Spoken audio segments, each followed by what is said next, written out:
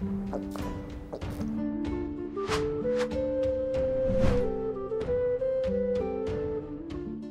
Moin Moin, hallo und herzlich willkommen zu einem neuen Video hier auf meinem Kanal. Und heute gibt es wieder eine Runde Shakes and Fidget. Heute gibt es mal ein Best of 10 von den nützlichsten Sachen, die ich bisher so in meiner Shakes and Fidget Laufbahn so rausgefunden habe.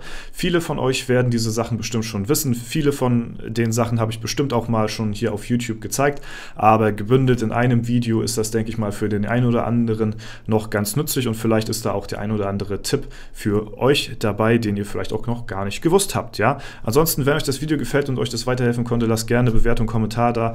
Über ein äh, äh, kostenloses Abo würde ich mich natürlich auch sehr freuen. Ansonsten vorab gesagt, ähm, ist in dem Video viel drin, was auch in der SF-Taverne äh, zu finden ist. Ja, also das Ganze ist auch in Zusammenarbeit mit denen mehr oder weniger äh, ja, entstanden. Deswegen gehen da auf jeden Fall die Grüße raus an den Discord-Server. Wenn ihr hier auf diesen Link klickt, dann kommt ihr zum offiziellen Shakes and Fidget Community-Server und würde mir auch gerne, ja, da könnt ihr auch gerne ein Follow da lassen, wenn ihr da auch vieles nützliches, äh, nützliche Informationen bekommen wollt. Gut, ansonsten wünsche ich euch jetzt viel Spaß beim Video. Ja, wir fangen mal an mit einem sehr gefragten Tool und zwar ist das das SF-Tools von Ma21, was auch auf dem Discord-Server zu finden ist. Und zwar gibt es hier ein Feature, was häufig gefragt wird, äh, wo ich auch viele Fragen bekomme, wie rechnest du dir deine Prozentchancen für die Dungeons aus? Wie weißt du das immer so genau? Ja, und zwar gibt es hier unten einen Dungeon-Simulator und hier kann man einfach seinen Account eintragen, jetzt zum Beispiel meinen W50-Account und das Ganze durchsimulieren. Ja, und dann stehen hier die Chancen, wie das hier, wie gerade so die Gegner stehen, ja, wie die Prozentchancen sind. Und das ist auf jeden Fall sehr nützlich, wie ihr das Ganze eintragen könnt, eure ganzen Accountdaten. Ihr geht einfach hier auf Statistik, ja, dann auf Files und dann geht ihr Import from Game.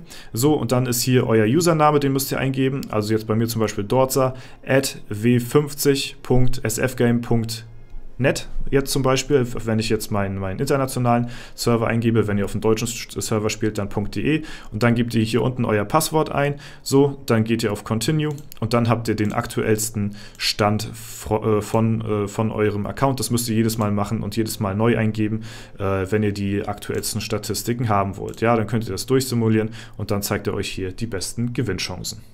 So, als nächstes kommen wir zu einem Punkt, der, denke ich mal, für den einen oder anderen von euch auch relativ interessant sein könnte.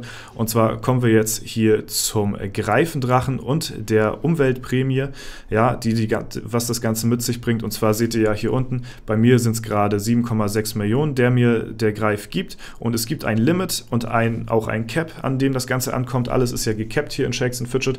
Ne? Und das Gold halt eben auch. Und das Ganze ist auf 10 Millionen äh, Gold gecapped. Das heißt, wenn ihr eine bestimmte Stufe erreicht und diese Stufe ist 612, dann habt ihr das Maximale an den ähm, Greifen, an den Greifendrachen Umweltprämie herausgeholt und ja, das Ganze erreicht ihr ab Stufe 612. Ne? Das Ganze ist ja auch hier bei der Stadtwache auch, ne? das geht ja auch bis zu 10 Millionen hoch und das Ganze ist hier auch bei der Umweltprämie, das geht auch bis 10 Millionen hoch. Das ist auf jeden Fall erreichbar ab Stufe 612. So, dann kommen wir als nächstes zu einer Taktik, die auch relativ unbekannt ist, die auch nicht sehr viele wissen, aber es ist tatsächlich so im Spiel vorhergesehen und auch, ähm, ja, es funktioniert auch so. Und zwar geht es um die Offizierstaktik in der Gilde. Ja, falls ihr euch fragt, warum manche Gilden so viele Offiziere haben, ähm, das liegt einzig und alleine daran, da die ersten 25 Leute gezählt werden für das Gildenpad, ja, und dementsprechend auch die Stats von denen gezählt werden.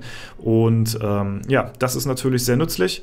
Da sucht man sich halt die stärksten Spieler heraus, denn auch wenn es äh, geht, natürlich nach einer Klasse, weil das Pad, was man aussucht, hat auch nur eine bestimmte Klasse und je nachdem werden dann die äh, Werte zusammengezählt. Und umso ja, besser die Leute hier in den Top 25 sortiert sind, umso stärker wird das Pad, umso mehr Erfolgschancen habt ihr auch bei der Hydra und umso weiter kommt ihr hier auch voran. Zum Beispiel hier auf dem Server hier auf W27 machen wir das Ganze.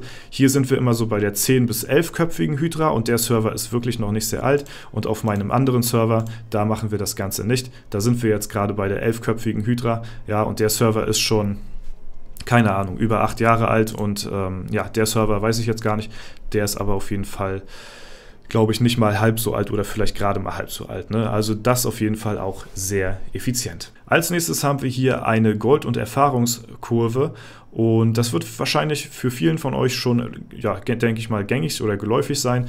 Ähm, es gibt ein, eine Levelgrenze, ab denen die XP nicht mehr weiter zunimmt, sondern absinkt. Und das ist Stufe 393.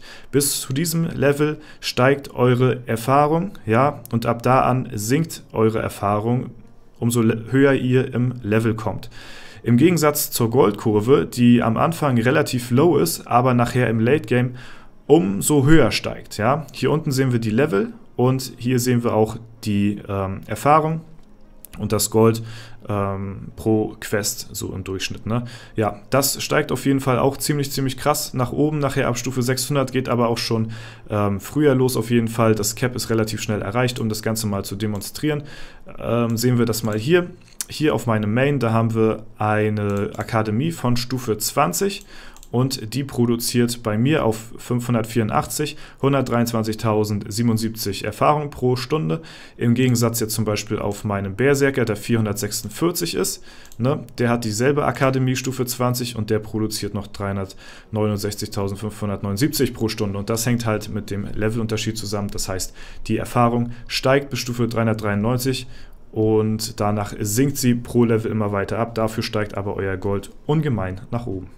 Als nächstes haben wir hier einen Screenshot, den ich persönlich sehr nützlich fand. Ja, viele von euch wissen natürlich, wie die einzelnen Klassen funktionieren, aber hier haben wir auf jeden Fall erstmal alle Klassen aufgelistet und hier werde ich nicht weiter sehr krass ins Detail gehen. Wenn ihr euch davon einen Screenshot machen wollt und euch das Ganze genauer reinziehen wollt, dann macht das bitte.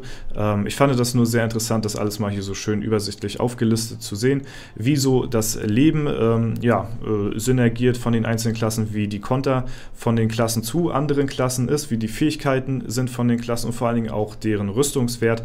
Ähm, hier alles gleich mit aufgelistet ist ziemlich interessant und ich denke mal auch ähm, eine gute Übersicht für alle Leute, die noch nicht ganz so über die einzelnen Klassen und deren Fähigkeiten und deren Stats Bescheid wissen. Was auch ziemlich oft gefragt wird, ist ja, das Thema Pets und wie das Ganze ähm, am besten zu lösen ist, welche Pets man am besten füttert und welche Wege man am besten geht. Dazu habe ich natürlich auch einen äh, Guide auf YouTube mal gemacht und äh, da gibt es auch sehr viele verschiedene Guides. Wollte ich auf jeden Fall trotzdem mal mit in dieses Video mit einfließen lassen, um das Ganze ein bisschen vollständiger äh, werden zu lassen. Und ähm, ja, hier haben wir die einzelnen Pets aufgelistet und äh, hier sieht man auch die einzelnen Routen von den Pets und wie man diese Pets auch füttern sollte und auch darauf angepasst, ob ihr Pilzer seid oder Free-to-Play seid oder so ein Medium-Ding. Ne? Das kann man hier auch sich noch aussuchen. Zum Beispiel haben wir jetzt hier bei den ähm, Schattenpads, haben wir hier einen Weg, der für die äh, Pilzer ziemlich äh, attraktiv ist. Ne? Das heißt, man muss relativ viele Pilze in, ja, in die Tries stecken, um halt auch diese Pads freischalten zu können. Ne? Dafür sind die Routen aber deutlich schneller, als wenn man jetzt zum Beispiel eine Free-to-Play-Route nehmen würde. Dann hat man hier eine ja, Medium-Variante, äh, äh wo man halt bereit ist, vielleicht ein paar Pilze zu investieren in das äh, dazugehörige Pad, um dies freizuschalten und äh, man ist trotzdem immer noch relativ schnell unterwegs. Ansonsten haben wir hier auch eine Free-to-Play-Route am Start für die Leute, die halt gar keine Pilze investieren und auf Nummer sicher gehen wollen. Die füttern so lange immer dieses Pad, ja, bis sie dieses Pad besiegen und füttern dann dieses Pad so lange, bis dieses Pad freigeschaltet ist und füttern dann dieses Pad so lange, bis dieses Pad dann zum Schluss auch da ist, ja. Und das gilt hier quasi für alle, alle ähm, ähm, ja, Elemente und äh, es gibt nicht überall eine Free-to-Play, eine Medium- und eine Pilzer-Variante, weil bei manchen Routen zum Beispiel, ähm, ja, wie äh, Erde, gibt es auch nur einen fast bestimmten Weg. Das ist ähm, ja mit diesem Anfangs- äh, Pad geht man entweder hier auf, auf dieses oder auf Klopdivop hier. Ne? Ich habe die Namen jetzt nicht alle im Kopf, deswegen tut mir das leid an der Stelle.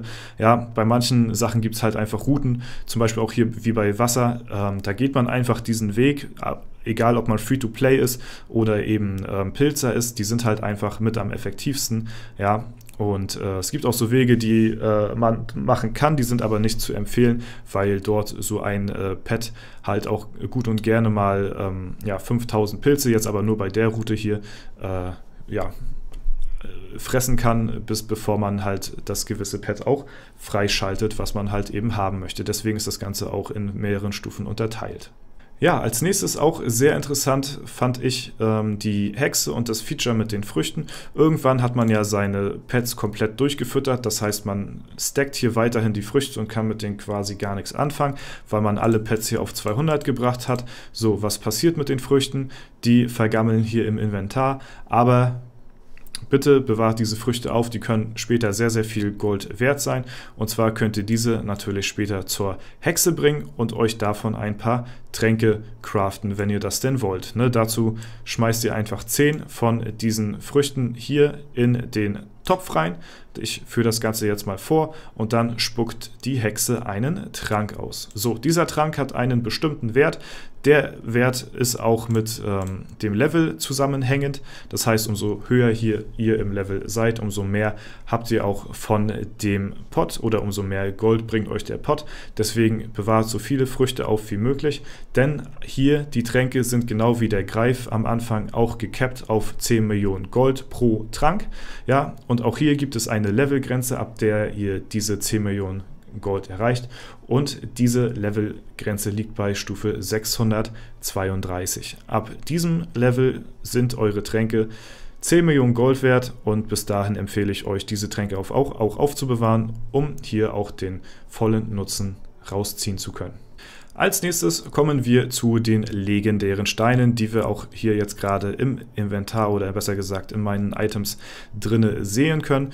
Und das wird auch oft gefragt, ähm, wie schaltet man überhaupt diese Steine frei? Und gibt es dort auch eine Berechnung, wie das Ganze zusammenhängt, wie die Fundchance ist von den legendären Steinen? Also zuerst mal gesagt, die legendären Steine, die schaltet ihr frei, indem ihr Sammelalbum-Einträge hier im äh, Sammelalbum sammelt. So, ne? das sind legendäre äh, Gegenstände, die durch die legendären Dungeons findbar sind und umso mehr ihr an legendären Items im Sammelalbum hier drin zu stehen habt, umso höher ist auch die Fundchance von legendären Edelsteinen. Es kommen viermal im Jahr legendäre Dungeons, die sind temporär für zehn Tage da und in der Zeit habt ihr eben Zeit, diese legendären Sachen zu finden. Diese könnt ihr nur eintragen in euer Sammelalbum, indem ihr sie selbst findet. Das heißt, wenn ihr ähm, in die Ehrenhalle geht und dort die Gegner angreift, die legendäre Sachen haben, die werden euch dann nicht in euer Sammelalbum gut geschrieben. Das heißt, ihr müsst die selbst finden.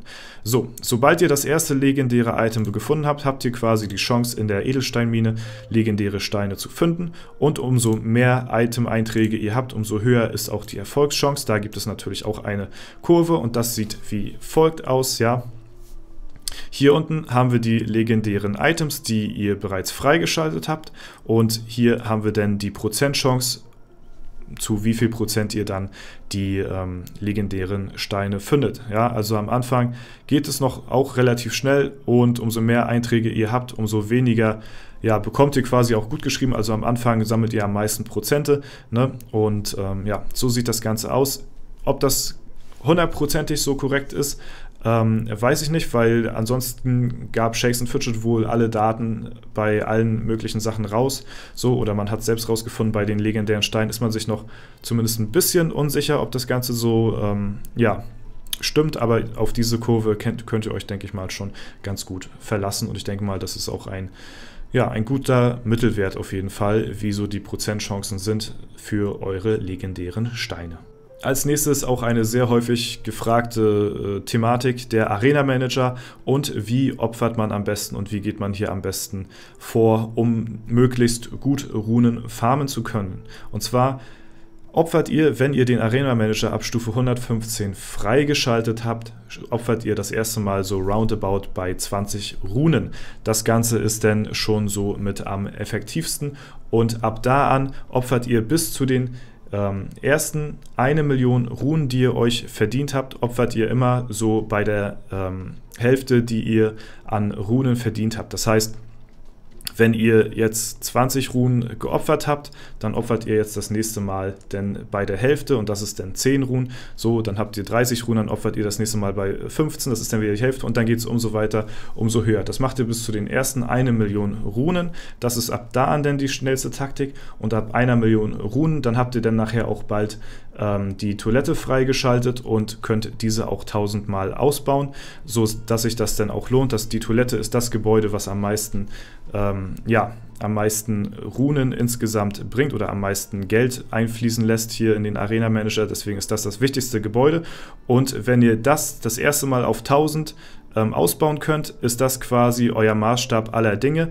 Und ähm, ja, ab da an könnt ihr quasi immer opfern, wenn die Toilette einmal durchgelaufen ist. Ab da an könnt ihr, ja, was weiß ich, 15, 20 Mal, wie oft ihr das am Tag so schafft, ähm, opfern. Ja, lasst die Toilette einmal komplett durchlaufen, macht einen kompletten Durchgang im Arena Manager und baut die Toilette auf 1000 aus. Und wenn diese Toilette einmal durchgelaufen ist bis zum Ende, opfert ihr direkt wieder und lasst das Ganze, ja, baut das Ganze wieder aus bis zur, äh, bis zur Tausender-Grenze und ähm, ja, dann äh, lasst ihr das wieder durchlaufen und opfert wieder, ne, bis ihr dann den nächsten Breakpoint irgendwann erreicht habt bei der Toilette und ab da an könnt ihr bis zum Ende durchziehen und immer nach einem Toiletten-Cycle-Durchlauf könnt ihr hier opfern. Das ist die effektivste Taktik, um auch am meisten Runen in der kürzesten Zeit zu erfarmen.